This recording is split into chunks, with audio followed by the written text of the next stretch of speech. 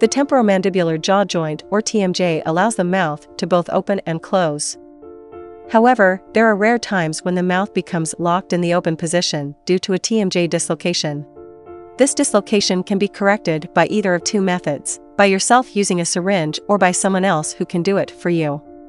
In order to understand what's happening as well as how to fix, normal jaw movement anatomy needs to be first reviewed.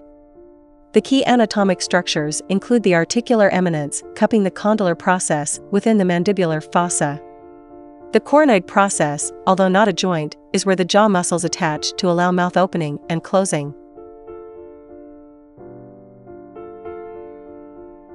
The first 2 centimeters of jaw opening is due to a purely rotational movement of the jawbone within the mandibular fossa. When the mouth opens wider than 2 centimeters, the jawbone moves forward and down along the articular eminence of the skull and out of the joint socket. A TMJ dislocation occurs when the mandibular condyle gets displaced in front of the articular eminence and becomes trapped in this position. The jaw is unable to close in this position because the coronoid process, which normally moves deep to the zygomatic process, is now hitting the cheekbone or maxilla.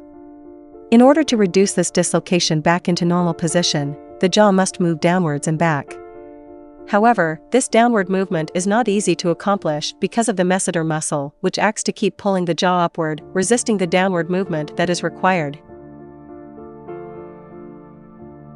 Overall, the goal is to move the jaw downwards and back. Once the jaw has been pushed downwards, the chin is lifted upwards to complete the reduction. Traditionally, this reduction is performed with assistance. The doctor first places the thumbs over the back jaw molars. A strong and firm push is then performed oriented both downwards and back. Once the jaw has been pushed downwards, the fingers closer to the chin then pulls upward at the same time, thereby completing the reduction. However, a TMJ dislocation can be corrected by yourself using a syringe. The syringe acts like a rotating fulcrum to reduce the dislocation back into normal position. The syringe is first wedged tightly into the very back of the jaw. While biting down on the syringe, the syringe is rotated towards the front of the face as shown. Once the condylar process is back onto the articular eminence, the syringe can be removed and jaw allowed to close. If necessary, these same steps can be performed on the opposite side.